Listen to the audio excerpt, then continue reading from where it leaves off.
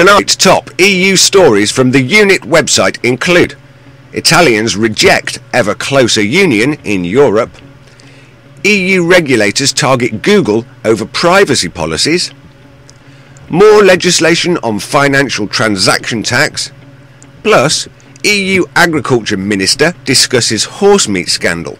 I'm Rick Timmis, and this is the Unit Nightly News.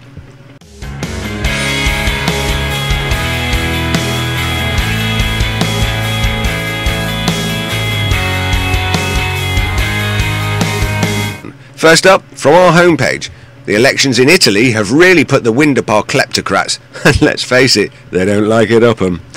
It appears that no definite consensus was reached to achieve a majority in the Italian parliament. The result sent shudders through the financial markets. This article looks into the details of the situation. Internal assessments here at the unit think that this could well be the blue touch paper to the next EU fiscal fireworks show.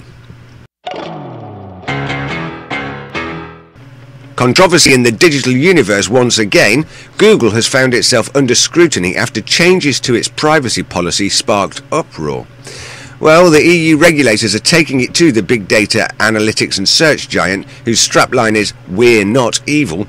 This article looks at the details surrounding this investigation. Our fiscal fiddling fiduciaries back in the hemicycle of Mordor have been busy striking scribe to parchment once again. In our legislation section, we have more detail with regard to the thorny Tobin tax. This new financial transaction tax, which makes up one aspect of the overall fiscal integration strategy, this report makes recommendations to enhance cooperation, essentially a piece of legislature designed to catalyse the fiscal union. New updates to our audio library from an interesting source, npr.org.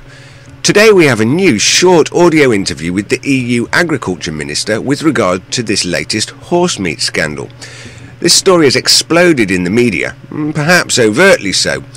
The overarching issue looks to the pressures on economies creating an increase of unwanted horse stock coupled with reduced inspection regimes from abattoirs, which created an opportunity for the unscrupulous. Today in our video library, former official of the Bank of England, Dr. Eric Edmond, considers the motives behind the creation of the European Union, why the agenda has always been political.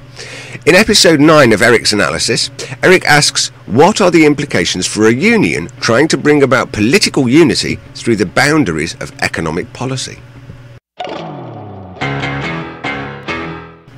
And finally, Tim Grant wrote in to congratulate us on the show and also asked why we are so against the EU. Well, firstly, thanks, Tim. We love it when folks get in touch with us, so please do keep your thoughts coming. To answer Tim's question, the unit is neither pro or anti EU. We work hard to be completely non partisan. We believe that any government structure must be of the people, for the people. It must be democratic and broadly representative of everyone. Our role is to make sure that you get clear and interesting information presented in a digestible format so that you can make the most informed decision when it comes to exercising your voting rights. That's all from me at the Unit Nightly News. You can get lots more news stories and information on our website, theunit.com. You can get in touch with us there, and we particularly welcome your letters and points of view.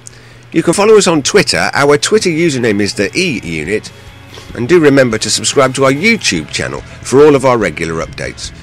You can join me and the rest of the team for interactive discussion and debate on Google Plus at any time. And finally, the Word program is active again. If you would like one of our public speakers to come and discuss Britain's relationship with the EU in your area, then get in touch with us via the Word section of our website. Rick Timmis for the Unit Nightly News. I'll see you soon.